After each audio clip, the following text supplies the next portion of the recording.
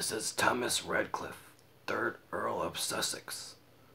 He was a courtier that lived between 1525 and 1583. He served as Lord Deputy of Ireland